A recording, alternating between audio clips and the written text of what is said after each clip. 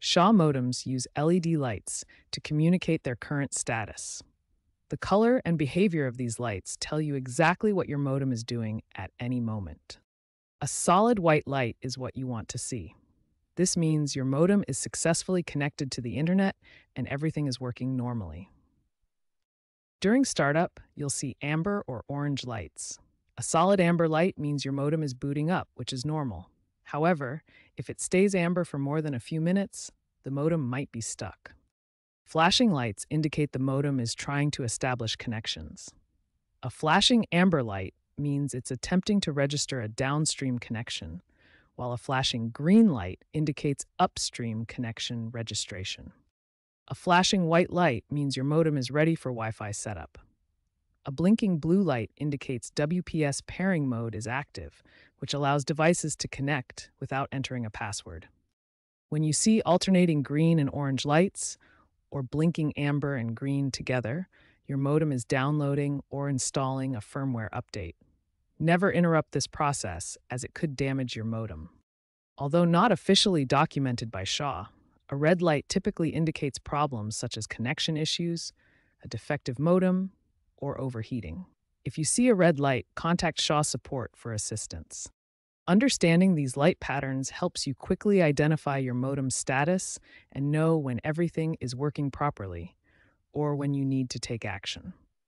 When your Shaw modem lights indicate problems, follow these essential troubleshooting steps to restore your connection. Step 1 Check all cable connections. Ensure coaxial and power cables are securely connected to your modem and wall outlets. Step 2 Power cycle your modem.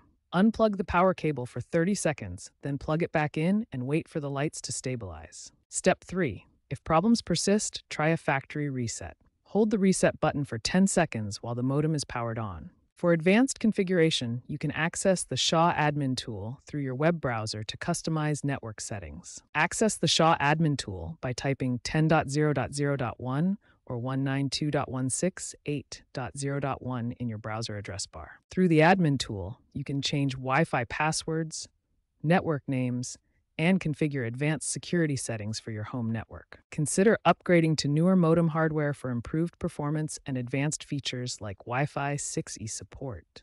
The Gen 3 XB8 modem supports Wi Fi 6E technology, providing faster speeds and better performance throughout your home. Wi Fi 6E operates on the 6 GHz band, reducing congestion, and providing faster, more reliable connections for compatible devices. Use the My Rogers Shaw app or Rogers Xfinity app to manage your internet services remotely and check for service outages. These mobile apps allow you to restart your modem remotely, check connection status, and receive outage notifications. App features include remote modem restart, speed testing, outage checking, and basic network management from anywhere. For advanced users, consider using a third party router with your Shaw modem in bridge mode for enhanced control and performance. Bridge mode disables the modem's router functions, allowing your third party router to handle all network management and Wi Fi broadcasting. This setup provides better control over network settings, advanced security features, and potentially improved Wi Fi performance and range.